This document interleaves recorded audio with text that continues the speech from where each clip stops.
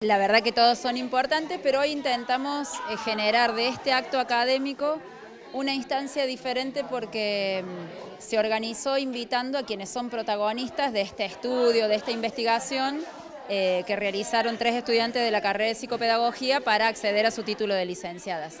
Eh, el trabajo tenía que ver con el último primer día, ¿no? y entonces en esta presentación formal, en este acto académico, se invitó a estudiantes de colegios secundarios que han transitado, que están próximos a transitar su último primer día, y bueno, esa es la, diferencia, digamos, a otras instancias similares.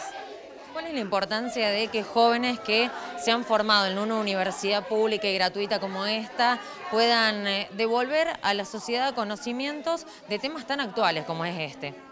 Fundamental, o sea, apostamos eh, específicamente a eso, ¿no? a que los conocimientos se produzcan en pos de las necesidades de lo que está pasando en la sociedad, de, de cuáles son las necesidades. Entendemos que esa es la función social de la universidad y por eso cuando decidimos que en esta presentación se pudieran sumar quienes habían sido protagonistas para poder escuchar eh, qué se estaba diciendo en este trabajo con respecto a este ritual que, eh, que, los representa, eh, nos parecía fundamental para poder generar así espacios que permitan seguir dialogando sobre esto y que permitan seguir construyendo espacios de cuidado.